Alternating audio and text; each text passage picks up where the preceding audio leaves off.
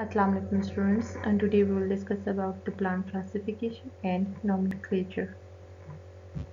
From this lecture students will know about the evolutionary origin of plants, will understand about the process of plant identification and classification, will also know about the Aristotle classification system and why this uh, classification was replaced. Uh, student will also know about the uh, what uh, criteria do modern taxonomists use to classify an organism. Okay, what is the evolutionary origin of plants? The answer is ancestor of plants were photosynthetic protisters. Green algae gave rise to land plants. Green algae probably most similar uh, to the ancestor plants, but um, algae lack true roots, uh, stem, leaves, and complex reproductive st structures such as flower and cones. Okay, why green algae are the plant closest living relatives? Because green algae use the same type of chlorophyll as do land plants. Green algae store food as starch as uh, do uh, plants and uh, have the cell wall made up of cellulose similar in composition as land plants. How did plants invade and flourish on lands? The terrestrial world may be green now, but it did not start out the way. More than 400 million years ago, the land was barren and inhospitable to life. From evolutionary point of view, it was a land of opportunity, free of competitors, free of predator, and full of carbon dioxide and sunlight. So uh, once natural selection had shaped the adaptations that helped plants to uh, live in the terrestrial land. When plant pioneers the land, they faced a range of challenges posed by the terrestrial environment. The plant body is no more bathed in the nutrient solution and the air tends to dry things out. Due to change in the structure of plant body, These conditions favored the evolution of the structures that support the body vessels and transport water and nutrients to all parts of plant. The resulting adaptations from water to land include some structural features that arose earlier in plant evolution. And now these changes are common to all land plants and they include for example root or root-like structure reproductive structures as in flowers and contain spores and gametes. Uh, stem supports uh, plant and may be uh, uh, perform a photosynthesis. A leaf perform photosynthesis and it contains uh, cuticles. A waxy cuticle covers the stem and leaves of plants. And stomata are tiny pores in the leaves that allow for gas exchange Okay, uh, land plants also contains uh, the uh, substance uh, called lignin, uh, which is a rigid polymer of alcohols that conducting vessels and support the plant body, helping the plant expose maximum surface area to sunlight. Life on land also required new method of uh, transporting sperms to egg, unlike aquatic forms. A successful group of land plants are the method of gamete and zygote dispersals uh, that are independent of water. The other success is its structure that protect uh, developing embryo from drying out. Okay, uh, let's uh, discuss about the classification of plants. Since ancient times, uh, various scientists have attempted to devise a system for grouping and naming of living organisms. However, in 18th century, Carolus Linnaeus, a Swedish botanist, invented a scientifically accurate uh, system. His uh, system used internationally today and was an outstanding contribution to the biology. Linnaeus rejected the common names of the plants and gave each one a scientific name made up of Latin words and it is always desirable to use scientific name because They are never duplicate. They are used by people of all countries. They are usually descriptive. They show a systematic relationship to other organisms. Plant taxonomy has two main aims to arrange the kind of plant in a scheme of classification that will show their true relationship mean all classification is based on structure uh, scientific similarities okay? And the other is identify all kinds of plants. In scientific work it is essential uh, to apply in names with precision uh, because the validity of research depends on correct identification of material involved To be able to achieve this, the taxonomist must utilize the method and resources of all these major fields of botanical investigation. The morphologist gives him an understanding of form and structure. The physiologist can point out the requirements for the existence of physiological species that appear identical the ecologist can give information about the relationship between plants and environment. The genetics and cytologists contribute information concerning inheritance and reproduction as well as chromosome number and its morphology. Okay students, uh, now we will discuss about the history of uh, taxonomy. In this we will uh, describe the Aristotle classification system and explain why it was uh, replaced, explain the Linnaean system of uh, classification and identify the main criteria he used to classify organisms and what are the seven level of organization that Linnaeus used to uh, categorize organism and will explain what criteria do modern taxonomists use to classify an organism. Okay, organisms were first classified by the Greek philosopher Aristotle. Aristotle classified all living organisms as either a plant or an animal. He further classified animals by where they lived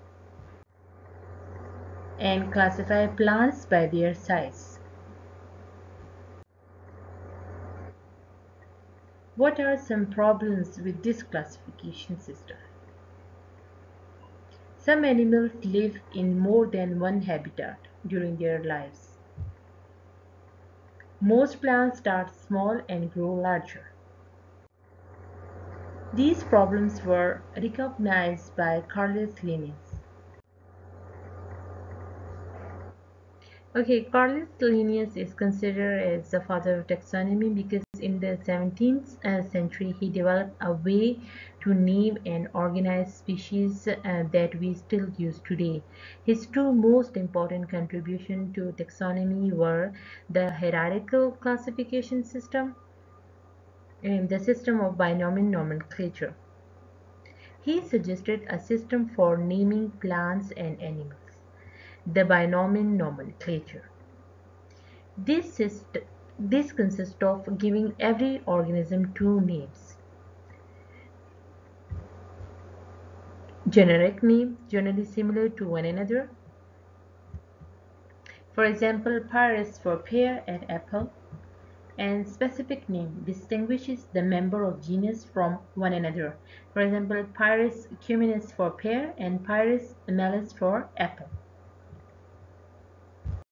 So in 1735 he published his first edition of Systema Naturae, the system of nature, which was a small pamphlet explaining his new system of the classification of nature.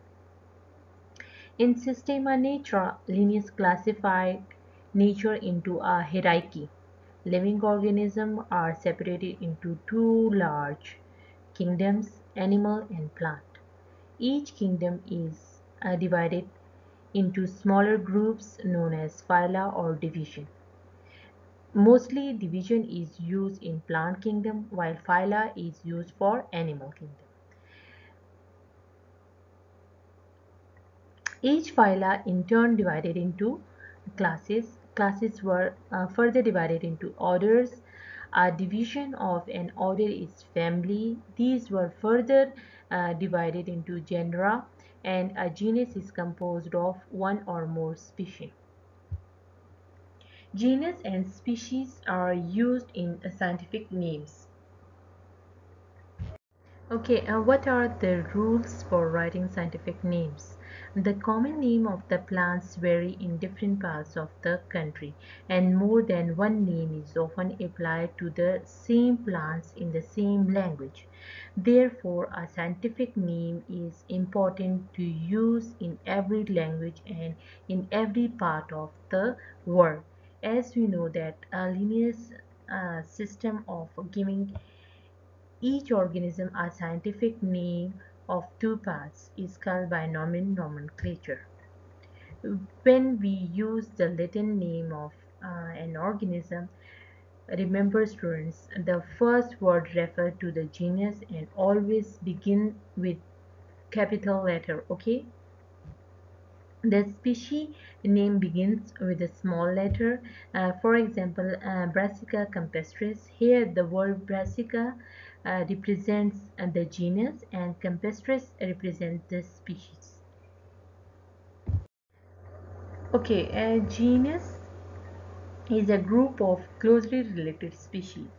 Okay, organisms placed in the same genus have similar structure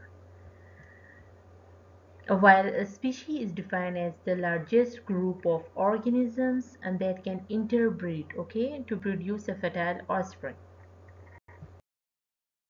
uh, students uh, what is the difference between these plants? Uh, are they different from each other? Yes they are different. Because uh, one produce uh, ear of corn if you look at a maize picture and the other produce small grains uh, for example uh, sorghum and wheat. They have small grains. They are different in grain head spike and ear of corn. They are different in color they grow at different heights. So they all are different from each other.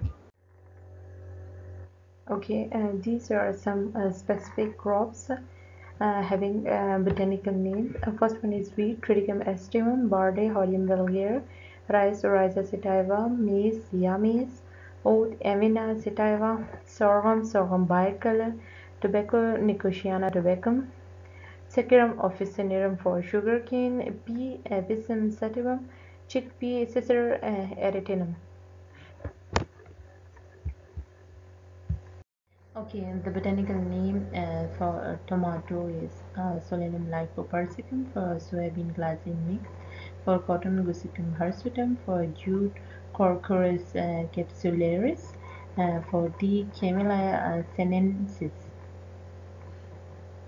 Now let's uh, discuss about the agronomic classification of plant. Uh, the first one is cereal or grain crop. A grass grown for its edible seed. Examples are wheat, rice, maize, oats, sorghum, etc. Legumes or uh. A seed uh, crop belong to family Leguminosae and are grown for their edible seeds. Example hmm, includes uh, peanut, beans, pigeon pea, uh, soybean, etc. Forage crops, crops which are grazed by animals. When these crops are harvested as a whole plants and cure uh, for animal feed they are termed as fodder. Mostly uh, belongs to Gramineae or leguminaceae a root and tuber crop vegetable crops grown for underground uh, parts like root bulb rhizome corm and uh, stem tubers. Example are sugar beet carrot turnip sweet potato potato yam etc uh, fiber crops. Crops which are grown for their uh, fiber these are used in making textile for example uh, rope and rug. Mm, examples include cotton and jute etc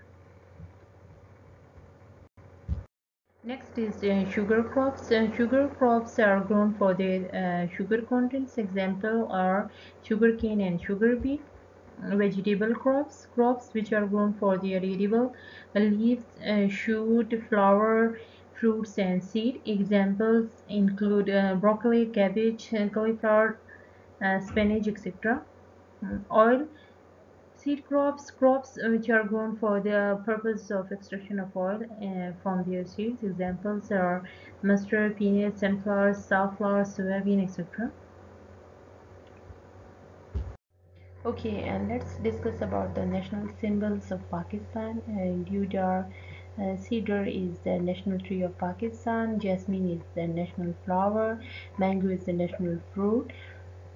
Uh, if you look at the uh, emblem of Pakistan, uh, she is surrounded by a floral wreath of jasmine. A shield is depicted in the center of emblem, uh, presenting the four major crops of Pakistan, that is cotton, jute, tea, and wheat.